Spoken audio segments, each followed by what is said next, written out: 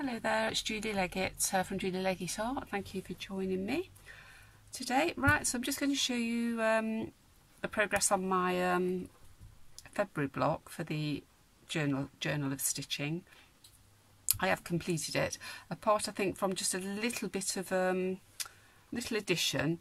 I found some, um, I'll show you them, some little gold made up buttons from a costume and they're quite you can see them there they're quite glitzy and I thought one of those would look really nice on this piece. But first of all I'll, I'll show you the piece. Um, I've um, stitched on all the pieces that I showed you in my last video of this uh, block and um, I've worked into it. Um, I blanket stitched the the flowers on um, in different corresponding colours. Did French knots around the outside.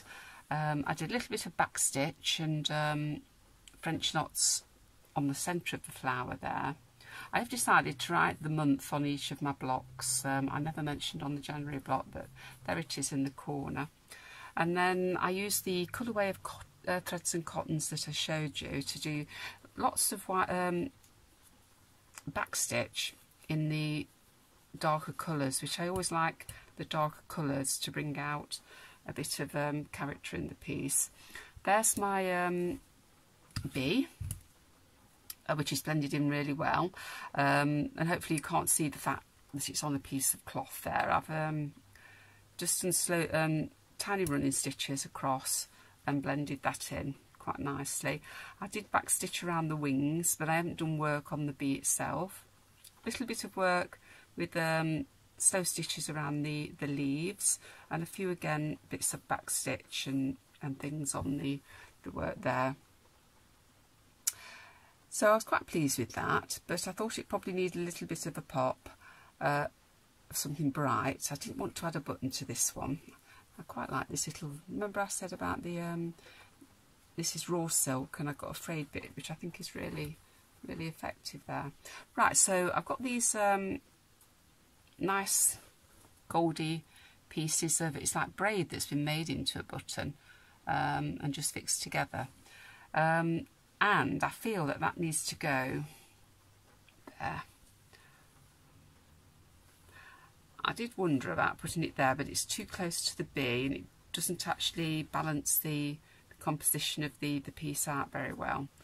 And it's a bit lost at the bottom I think gets lost on the pink there. I feel that the gold shows off much nicer on the um, the aubergine flower.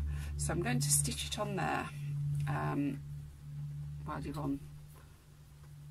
Oh, just need to thread the cotton. It's come unthreaded. These are quite tiny needles I'm using, so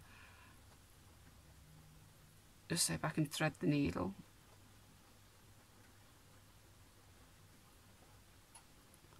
not my most favourite thing. If I'm using my sewing machine, it's all automatic, which is brilliant.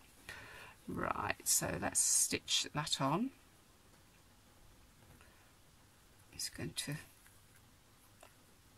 it's not a very big knot, I'll just not pull it through very tight and that should be fine.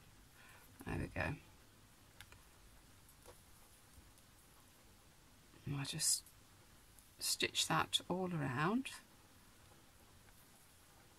I'm quite looking forward to the March, getting on with uh, another block.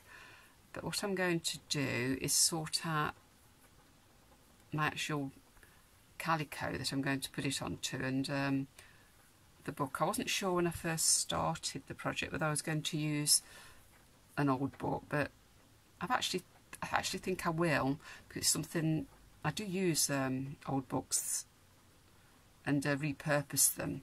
But I've not actually used one for sewing so I'm going to go ahead and use one for sewing. Now I haven't got one ready so it's something I'm going to search for in the next couple of days because I need to get the right size um, but and it needs to be quite tall. I've got lots of smaller ones. So that's something I'm going to actually do. I'm going off to London um, and there'll be a couple of flea markets there yeah, we're going off to London. I'm going. There's a stitch um, festival on in Islington in London, so I'm going to go there on Friday, and um, we're going to a show. We're only going for a couple of days, and then um, we're going to the museum and Denis Soames Museum as well. So I'm really looking forward to it. There, so I just finished that off at the back. I'll let you know what the stitch um, show is like. I mean, I, do, I have exhibited and I do do the knitting and stitching show, um, which is in was in Harrogate, which is completely at the other end of the country. Um, and I've not done one of the um, stitch shows, and it's really um, a bit of luck that um, I'm going to be able to go because we've got the the London trip booked and then I saw that this um, stitching show is on so really looking forward to it. Right so there we go that's the finished piece. Hope you can see that. Um, again I quite like this piece. I think that little bit of gold just adds a little bit of sparkle to to it. And I'm looking forward to getting it all together in some sort of format. And it will be a concertina format I've decided. Um, okay, so thank you for watching. I'll see you again soon.